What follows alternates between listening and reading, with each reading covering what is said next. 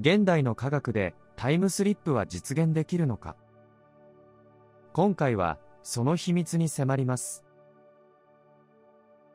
最後までこの動画を見ればタイムトラベルの達人になれるかもしれません。早速その真相を探っていきましょう。さて1895年というとイギリスの小説家ハーバート・ジョージ・ウェルズがタイムマシンという SF 作品を世に送り出しました。この小説に登場するタイムマシンは運転手の意思で時間を移動する乗り物として描写されています。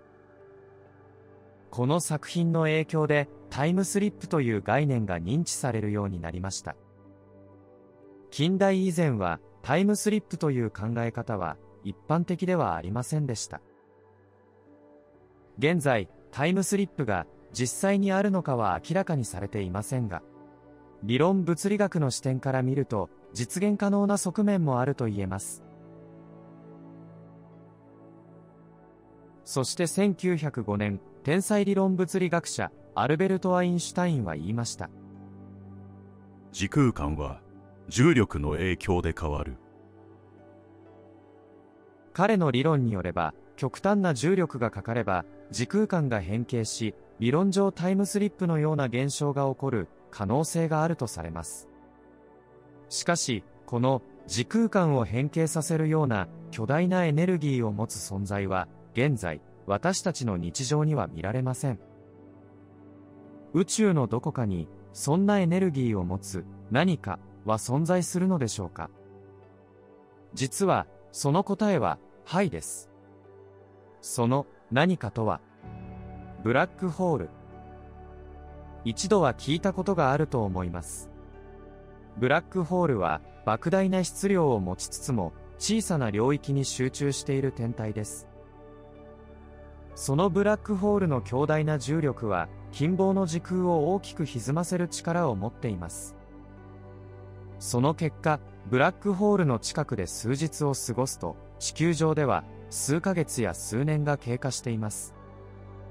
これは、ある意味で、未来へのタイムスリップとも言えます。NASA は、ブラックホールに関する研究を続けており、写真の公開や音の変換など、宇宙の不思議に少しずつ迫っているのです。ブラックホールと聞くと、怖さを感じる人も多いかもしれません。しかし、時空を旅する鍵としての役割も持つのです。ブラックホールのさらなる研究が進むと、タイムスリップだけでなく、宇宙の秘密や人類の進化にも寄与することが期待されています。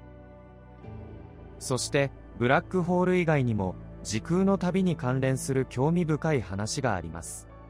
1988年、アメリカのキップ・ステファンソーン博士が注目を浴びる提案をしました。彼が提案したのは、ワームホールという概念を利用した時間の旅でした。ワームホールとは、物を吸収するブラックホールと物を放出するホワイトホールが接続された時空のトンネルのようなものです。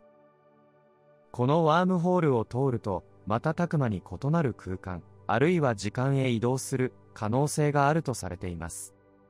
さらに、ホール内で時間が停止するとも言われており、タイムトラベルの可能性も示唆されています。ただ、ここには大きな課題があります。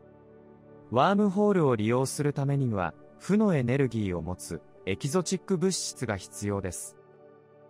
ソーン博士によれば、正のエネルギーを持つ物質がワームホールを通過すると、ワームホール自体が消滅するリスクがあるとされます。これは一度瞬時に移動しても元の場所や時間に戻れないという事態を意味します。このエキゾチック物質とは一般の物質とは異なる得意な性質を持つもの。例えば力を加えられた際に逆方向に動くなどの不思議な振る舞いを見せると言われています。もし、このエキゾチック物質を利用してワームホールが安定して存在し、人間が通過できる状態を作れれば、時空の旅が現実のものとなるかもしれません。しかし現状、エキゾチック物質は未解明。多くの研究者がその存在を信じて研究を続けており、ワームホールでの時空の旅が現実化する日が待ち遠しいです。タイムスリップが現実になったとしたら、我々の歴史や未来にどのような影響があるのでしょうか。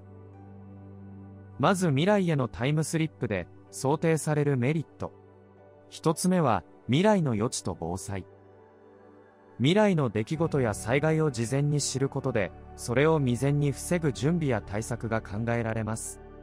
二つ目は、未来の知識と技術の習得。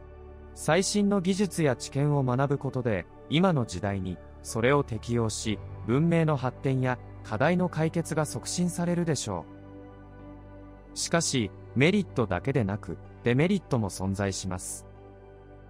一つ目は、未来の変動。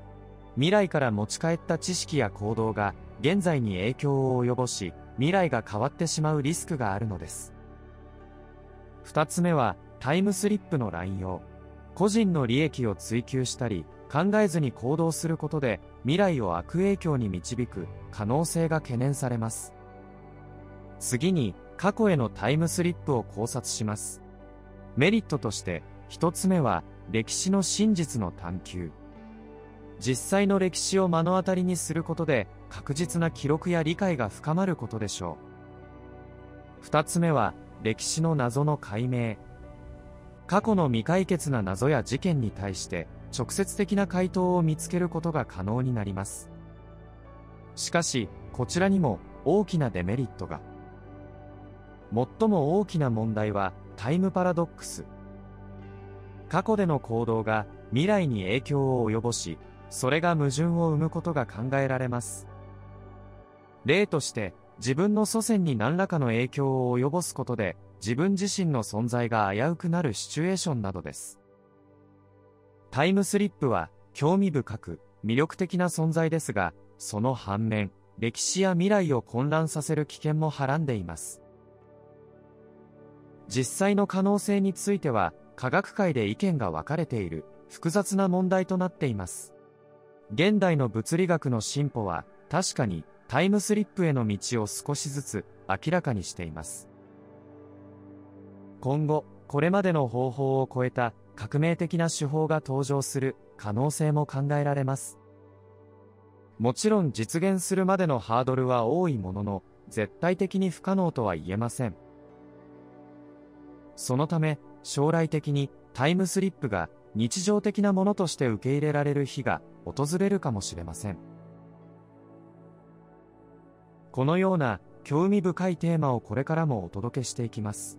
もし、まだチャンネル登録していない方は、ぜひとも登録をお願いします。そして、あなたの感じたことや思ったことをコメントでシェアしてください。それでは、次回の動画でまたお会いしましょう。最後までご視聴いただき、ありがとうございました。